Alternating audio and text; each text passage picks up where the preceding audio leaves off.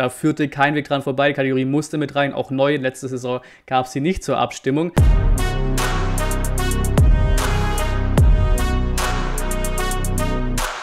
Und am 19 zum Video, in dem aufgelöst wird, was ihr so abgestimmt habt. Wir haben wieder einige, ich glaube so 10, 11 Stück haben wir gemacht, Votings im Community Tab an den Start gebracht. Ihr habt fleißig abgestimmt, vielen Dank dafür. Hier noch immer zu jedem Ding zu sagen, es ging immer nur maximal fünf Auswahlmöglichkeiten im Community-Tab. Ne? Natürlich hätten in manchen Kategorien auch noch ein paar mehr. Wir hätten auch manchmal gefühlt zehn Sachen äh, zur Auswahl stellen können, so, aber es ging immer nur maximal fünf Stück. Und wir gehen rein, Nummer eins, bester Spieler hat geholt Wataru Endo hoch verdient.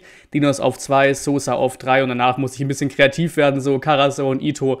Aber das Voting gehe ich vollkommen mit. Bester Transfer, Hiroki Ito. Mit über der Hälfte der Stimmen gehe ich auch wieder vollkommen mit man muss immer noch dran denken, der kam vor der Saison aus der zweiten japanischen Liga auf Leihbasis mit Kaufoption und eigentlich geplant für die zweite Mannschaft. Ne? Und dann spielt er so eine Wahnsinns-Saison. Finde es auch schön, dass hier Thomas viele Punkte bekommen hat, viele Stimmen bekommen hat. Auch verdient ein krasser Wechsel. Der hat auch direkt Klick gemacht, seitdem er im Winter zu uns gekommen ist per Laie. Und gut, der Rest, ne, führe ich Mamusch war noch ganz gut und Müller habe ich fast nur genommen, damit wir halt fünf Stück da immer haben. War klar, dass der nicht viele Stimmen bekommen wird. Ja, die Umfrage zum besten Spiel hätte ich eigentlich fast nicht stellen müssen. Es war klar, Stuttgart gegen Köln, das 2 zu 1, das Klassenerhaltsspiel, Last Minute Endo, wird das Ding locker rocken und der Rest ist tatsächlich auch recht, recht ähnlich auf. Ne? Bayern noch dahinter, 3-2 Gladbach, 3-2 Augsburg, diese zwei Heimspiele am Stück quasi. Unfassbar gewesen und natürlich auch erster Spieltag 5 zu 1 gegen Fürth. Auch absolut seine Berechtigung gehabt, hier in der Abstimmung zu sein. Beim schönsten Tor, auch so ein bisschen beschreibend für die Saison, haben wir dreimal Dinos drin. Dreimal Innenverteidiger, Verteidiger drin und nur zwei Stürmer von fünf Auswahlmöglichkeiten. Und er hat es auch gewonnen mit dem Kracher in den Knick in Wolfsburg. Er hat auch noch eine geile Hütte gegen Hoffenheim, das Solo, die geile, der geile Fernschutz gegen Gladbach, die drei Dinos-Hütten. Aber auch Mamusch gut dabei gewesen mit 22% und Tomasch beide quasi oben auf. 21% Tomasch, geiler Freischuss gegen Augsburg und auch ein richtig geiles 1 zu 0 in München von Tomasch. Und weil es dann doch tatsächlich recht viele waren, habe ich auch eine extra Kategorie gemacht mit Last-Minute-Tor der Saison. Wir hätten es auch natürlich in 1 packen können, einfach schönstes Tor so, aber habe sie mit reingenommen, war auch klar, dass Endo das Ding gewinnt, aber gerade hier will ich nochmal die anderen Dinge auch mit nennen, weil Kalajdzic war schon sehr wichtig an der Punkt bei Union noch tatsächlich. Das Fahr hier 1 zu 1 bleibt mir trotzdem immer noch als extrem besonderer Moment im Kopf, weil es war das erste Mal, wo Audas 60.000 hätten reingedurft. Ich glaube, es waren 30, 35.000 gegen Union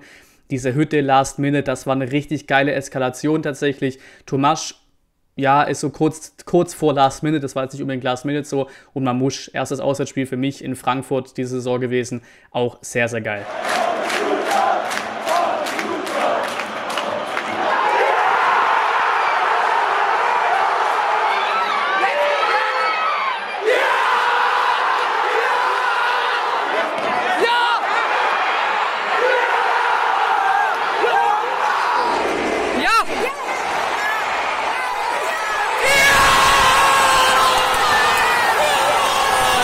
Und hier auch schön beim schlechtesten Spiel der Saison auch live vor Ort gewesen zu sein. Ganz toll. 2 zu 0 in Berlin hat es eindeutig gewonnen. 70 Prozent hier zu dem Stand, wo ich hier die Screenshots gemacht habe. Ähm, 4-1 in Augsburg war ich auch live dabei. Alles super. Äh, ich sehe, ich war überall dabei, bis eben auf das äh, 4 zu 0 in Leipzig. Und natürlich auch die Szene der Saison logischerweise die Ekstase, das 2 zu 1 gegen Köln.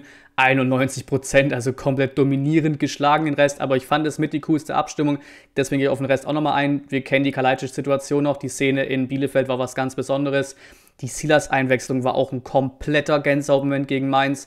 Wie gesagt, das Fahrche-Ding bleibt mir auch im Kopf, hat hier den zweiten Platz gemacht mit 4% und auch die paar Spitzenreitergesänge am ersten Spieltag, das hat ja auch was. Und die Kategorie habe ich auch vom letzten Jahr übernommen, die hatten wir auch letztes Jahr mit dabei, viele andere auch so logischerweise.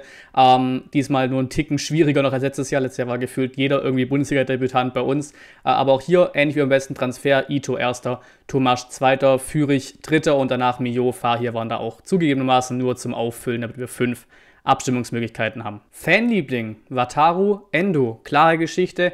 Dinos auf Platz 2, Sosa dahinter und noch Carasso und Tomasch. Ich habe noch Kalajdzic in den Kommentaren gelesen, aber ich glaube mit Endo gehen wir, glaube ich, alle mit. Und auf einmal machen wir einen Sprung von so grob 300 Abstimmungen zu über 1000 Stimmen. Also irgendwie die, die obersten zwei Abstimmungen haben die 1000 Stimmen geknackt. Darunter waren irgendwie 700, 600 Leute dann, ja, entweder kein Bock auf die Kategorien oder zu faul gewesen, runter zu scrollen. Ist mir egal, wir haben überall klare Ergebnisse gehabt. Also alles cool.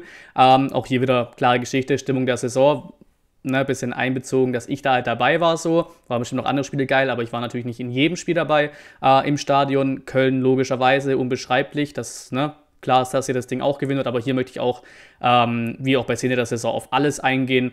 Nämlich Nummer 2 ist hier 3-2 gegen Augsburg. War auch sehr, sehr geil. Das erste Mal wieder mit 60.000. Seitdem auch kein Lockdown mehr gewesen. Also ab da wieder volles Haus.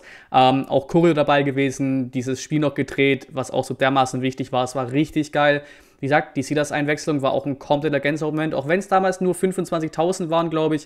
Äh, aber das war absolute Gänsehaut. Ähm, und danach Hoffenheim 2 zu 1 ist mir persönlich irgendwie auch einfach krass im Kopf geblieben. War ich ja auswärts dabei und es war so halbwegs das Fan-Comeback. So richtig Fan-Comeback war, glaube ich, erst dann in Bielefeld das Auswärtsspiel, aber da waren dann auch schon wieder die Ultras dabei. Ne? Das war ja auch lange davor nicht der Zeitpunkt. In Hoffenheim war einfach geile Stimmung, Heimspiel in Hoffenheim nur das Ergebnis nicht so ganz und auch geil gewesen einfach war Mainz nochmal. 0 zu 0 war kein gutes Spiel, Stimmung war aber geil, wieder ein Heimspiel in Mainz gemacht und eben dieses Vorsingen in Katakomben hatte ich bisher auch noch nicht so oft, deswegen es war auch sehr, sehr geil. Hier natürlich auch so ein bisschen das Dilemma, dass du natürlich auch wieder nur fünf Auswahlmöglichkeiten hattest. Ne? Wurde auch oft München genannt, das 2 zu 2, auch klar, war ich auch dabei, war richtig geil. Auch Gladbach fand ich sehr geil, das 3 zu 2 zu Hause, auch wenn es damals noch beschränkt war, glaube auch auf 25.000. Ähm, aber wie gesagt, leider nur fünf Stück, aber die beiden hätten es auch verdient gehabt, da reinzukommen. 1893,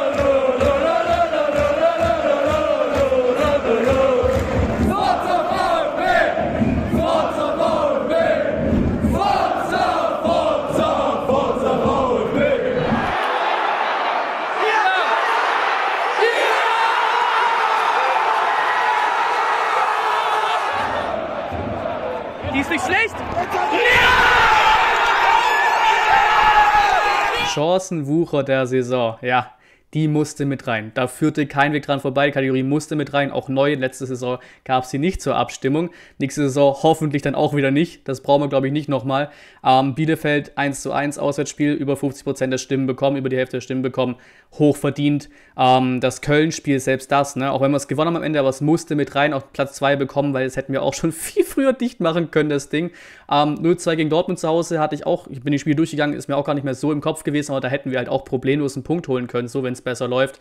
1-1 gegen Bochum zu Hause war extrem, extrem böse. Das war das Spiel, wo ich von der Pressetribüne am Start war, war sehr, sehr geil vom Praktikum aus.